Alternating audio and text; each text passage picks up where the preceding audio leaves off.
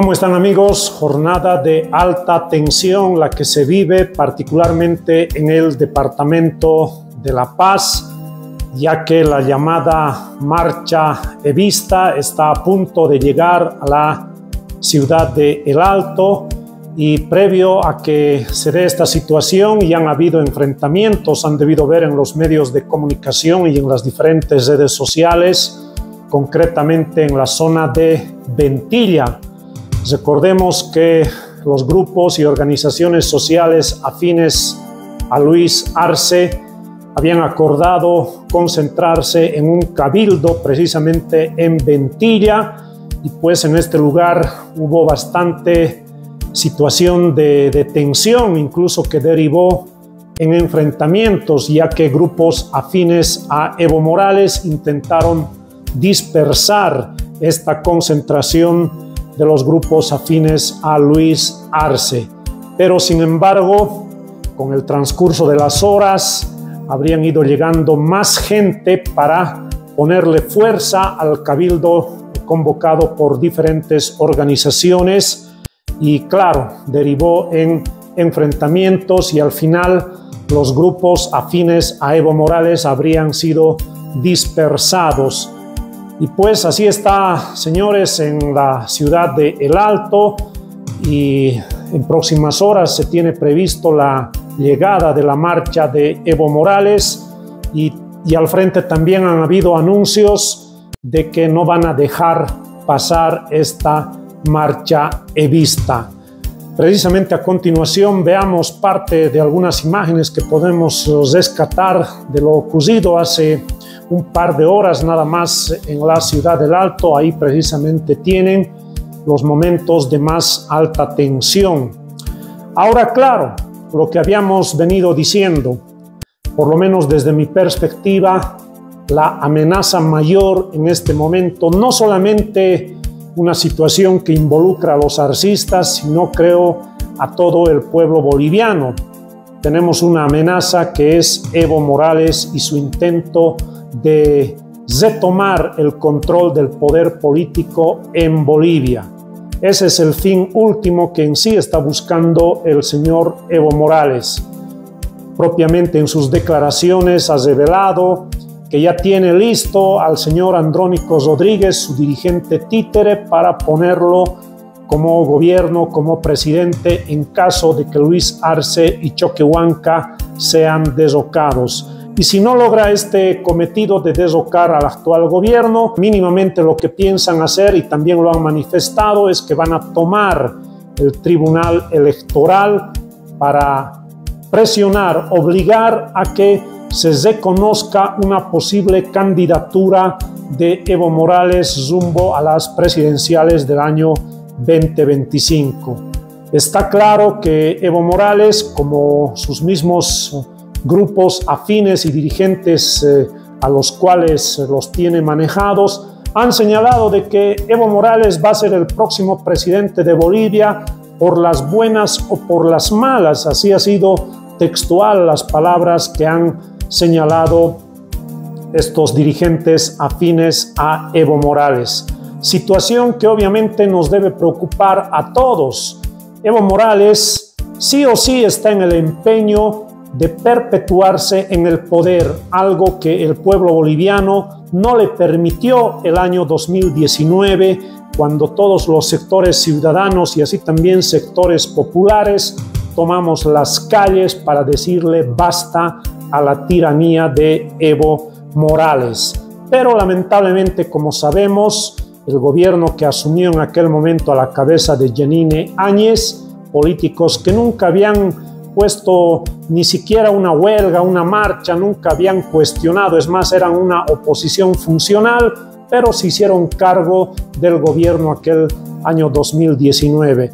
Y en vez de que mínimamente inicien procesos, hagan auditorías para procesar y rescatar toda la plata que se habían robado los masistas, lejos de aquello, Sabemos bien que Yanine Áñez y toda la manga de políticos que la acompañaron como Doria Medina, Tuto Quiroga, también Carlos Mesas que apoyó ese gobierno, pues pactaron eh, impunidad con los masistas. Y esto dio lugar a que obviamente se reorganicen y vuelvan al poder.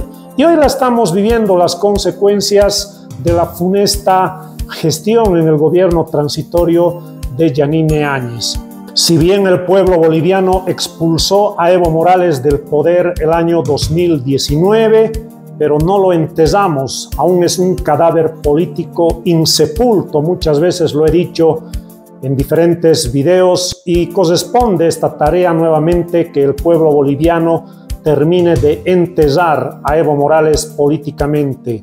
En términos y características políticas podríamos decir de que es un cadáver insepulto, fétido, y corresponde su sepultura. Y creo que en ese afán debemos estar todos los bolivianos, ya que no podemos aceptar que este sujeto, este déspota, vuelva a retomar el poder en Bolivia. Está encabezando una marcha sin ninguna perspectiva, sin ninguna propuesta con una abstracción genérica, marcha para salvar Bolivia. ¿Qué es eso? No nos dice absolutamente nada. ¿Cuál es su propuesta para los problemas principales que hoy atingen al pueblo boliviano, como la falta de dólares, escasez recurrente de combustibles, subida de precios de los productos? No tiene ninguna propuesta. Es más, hoy esta crisis económica la estamos sufriendo gracias a su despilfarro al desperdicio de la bonanza económica que se dio en su gestión.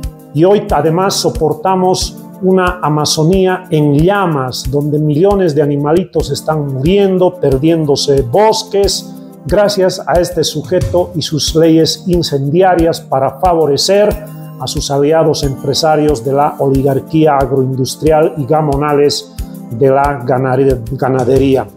Este sujeto quiere volver a retomar el poder en Bolivia. Sin ninguna propuesta, lo único que le mueve su apetito es retomar el poder en Bolivia y si puede, pues perpetuarse en el poder, aquello que quedó truncado, reitero, el año 2019 porque el pueblo boliviano no se lo permitió. Eso es lo que quiere Evo Morales. Para mí amigos, y para ir finalizando el video, no quiero hacerlo largo, de sectores independientes como nosotros, que hemos estado en diferentes luchas, batallas contra todos los políticos que hacen abuso del poder, ¿cuál debería ser nuestra conducta? Creo que hemos planteado varias medidas que la hemos puesto sobre la mesa y debemos añadir algunas.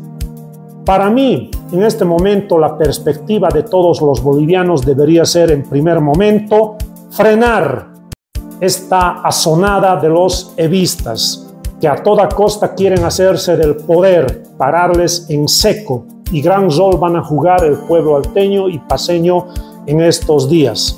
Segundo, hay un problema que nos preocupa urgente, la Amazonía que está en llamas, y creo que debemos encarar esa tarea y la lucha para que se abroguen el 100% de las leyes incendiarias y ecocidas que precisamente el déspota de Evo Morales en su gestión las aprobó.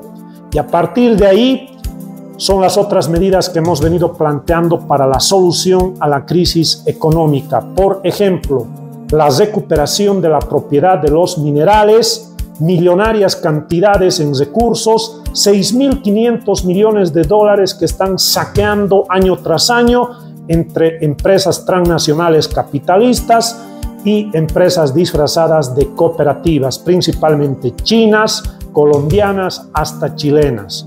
La segunda medida que hemos planteado, siempre pensando en la crisis económica, es obligar a que las oligarquías empresariales, grupos de exportadores, que generan grandes utilidades en el país, pero estas ganancias las guardan en bancos del extranjero y paraísos fiscales. Son más de 13.500 millones de dólares que están ahí en bancos del extranjero sin ingresar a la economía del país, pese a que esas utilidades se hacen con importantes subsidios desde el Estado como diésel, gasolina, electricidad y una ampliación de la frontera agrícola que está devastando nuestra Amazonía.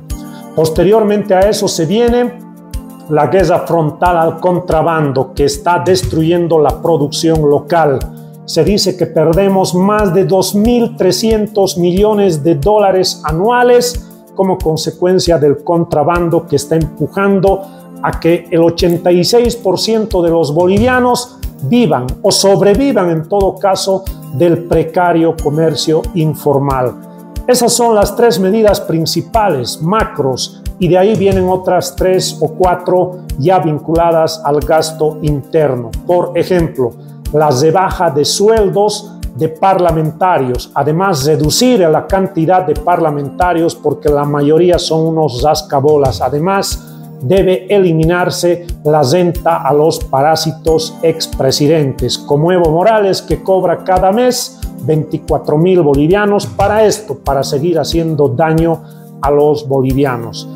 Y también debe haber, reitero, una mega auditoría a todos los políticos, por lo menos de los últimos 40 años que han amasado fortunas. Se debe recuperar todos esos bienes mal habidos en manos de políticos corruptos, tanto neoliberales y masistas.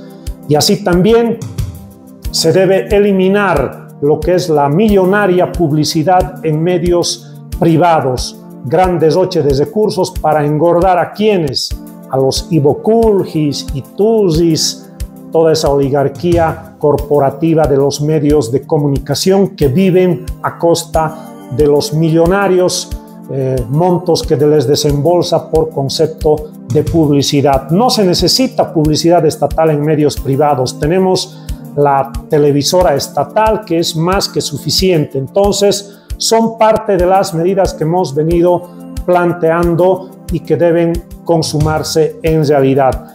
Entonces, amigos, la preocupación central en este momento, no solamente yo me refiero a los arcistas, Evo Morales es una amenaza fuerte para todos los bolivianos. Y si este sujeto retoma el control del país, pues se van a acabar las libertades democráticas. Es una bestia herida que va a dar zarpazos sin racionalidad y ténganlo seguro. Déjenme sus comentarios.